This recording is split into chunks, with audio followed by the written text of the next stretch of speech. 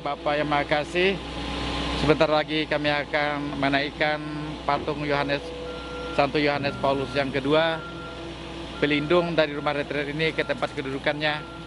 Kami mohon supaya engkau membantu kami, supaya engkau menyertai kami agar proses peletakan patung Yohanes Santo Yohanes Paulus yang kedua ini bisa berjalan dengan lancar.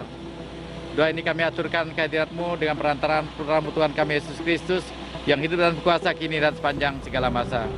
Tuhan bersamamu, semoga kita sekalian dan usaha-usaha kita menempatkan patung Santo Yohanes Paulus yang kedua ke tempatnya, diberkati oleh Allah yang Maha Kuasa, Bapa dan Putra dan Roh Kudus.